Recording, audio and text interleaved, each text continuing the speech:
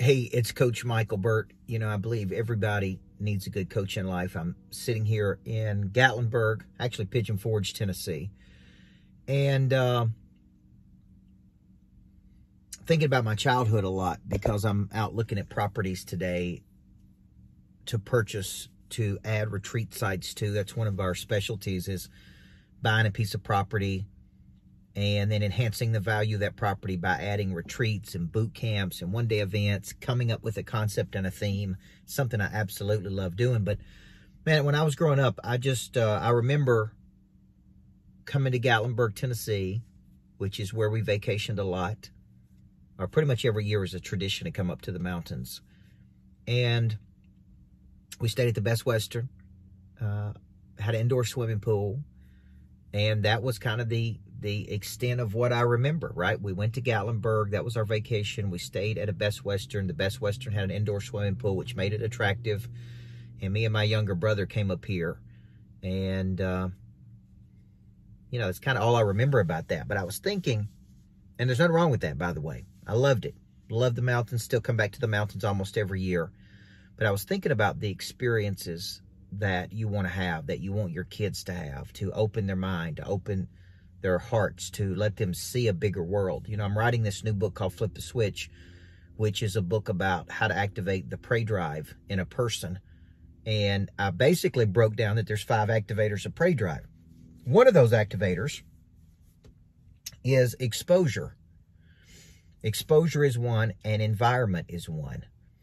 And if you don't know what prey drive is, prey drive is an instinct in an animal to see something, to capture it, and to kill it. I have drawn an association with humans that says prey drive in a human is the human's ability to see something with the eyes and to have the persistence and the intensity to pursue it. So it's a similar concept. But but I'm just thinking that man, one of the things that opens a person's mind and activates that drive is exposure to something. I see something with the eyes optically or in the mind, in the imagination and I want to pursue it. So this morning I was looking at real estate that's been completely redone. Took an old dilapidated six unit apartment complex and turned it into this beautiful resort. And what I saw was this person went there in the, in the mind, in the imagination, and it and it and it was different, and it was modern, and it was cool, and I saw boom, Camp Greatness. That's a great place for Camp Greatness where people from all over the world come to pursue their greatness, to manufacture their greatness, right? Like a sister property to a greatness factory, which is what I'm building in downtown Nashville, which is this unique and inspired real estate, this elegant real estate that where execution, where inspiration meets execution, where ideas meet action, where greatness is manufactured, where people can become what they are truly capable of becoming.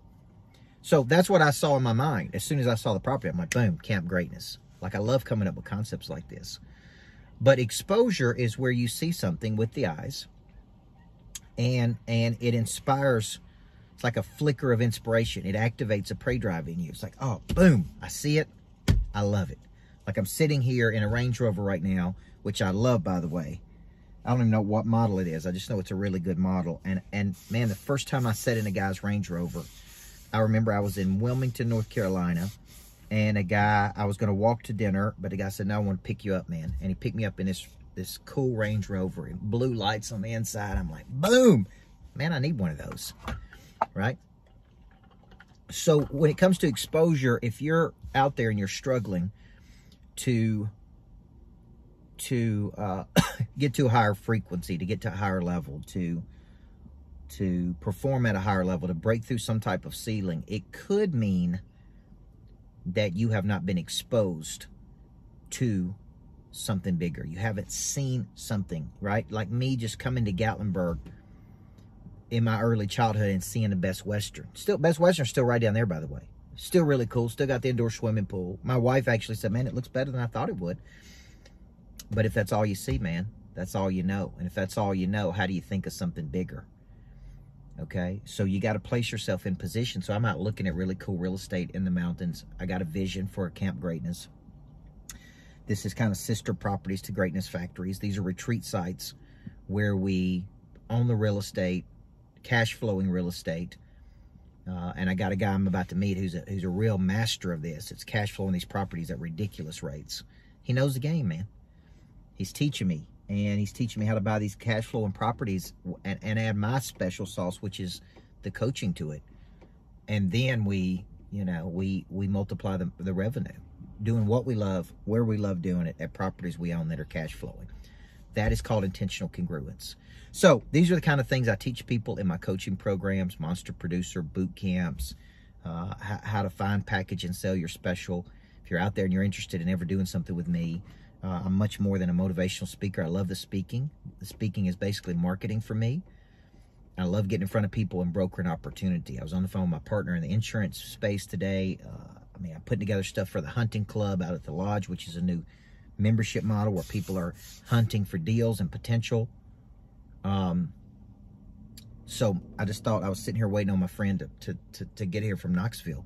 And I thought, man, I'd just shoot a quick video about exposure and activation of prey drive. Okay. When you go there in your mind before you go there in the body, folks, you see it first mentally and then you manifest it physically.